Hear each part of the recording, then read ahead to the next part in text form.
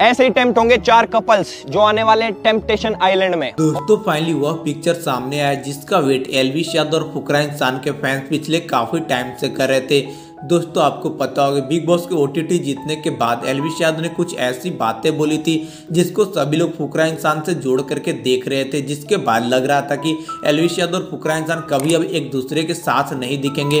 लेकिन दोस्तों finally Jio cinema के new reality show temptation island के कारण एलविश यादव और फुकरा इंसान एक साथ दिखे। एंड दोस्तों फाइनली एलविश यादव ने यह भी रिवील कर दिया कि आखिर इस रियलिटी शो की कॉन्सेप्ट क्या होने वाली है। The show name is temptation island India temptation island India जो कि आएगा जियो सिनेमा पे फ्री में आएगा। कोई पैसा पूसा नहीं देने। तीन नवंबर से स्टार्ट है भाई।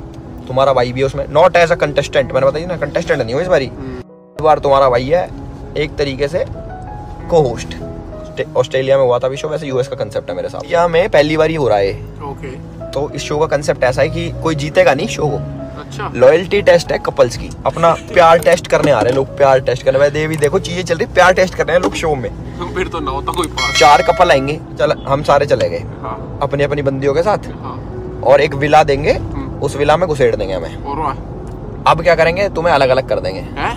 तुम्हारा विला अलग चार लौंडे अलग रहेंगे हाँ। चार लड़की अलग रहेंगी दूसरे विला में। समझ आ गई? हाँ। हो गए दोनों कपल ठीक है। अब जो चार लौंडे रह रहे हैं इनके बीच में आई आठ सिंगल लड़कियाँ। और सिंगल लड़कियाँ?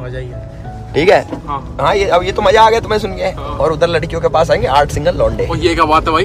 ये तो है। ठीक है? अच्छा इक्वालिटी है भाई। हाँ ठीक है आगे दोनों साइड हाँ अब लड़कों और लड़कियों को ये फाइंड आउट करना है कि वो जो अपनी वाली के साथ थे उसमें खुश रहना चाहते हैं हम्म। या फिर नई वाली के साथ ज़्यादा मज़ा आ गया। दोस्तों एलविश यादव और फुकरा इंसान के साथ आने से कुछ हेटर्स की तो जली होगी, लेकिन जो उनके ट्रू फैंस हैं, उनको काफ़ी दया, पसंद आया।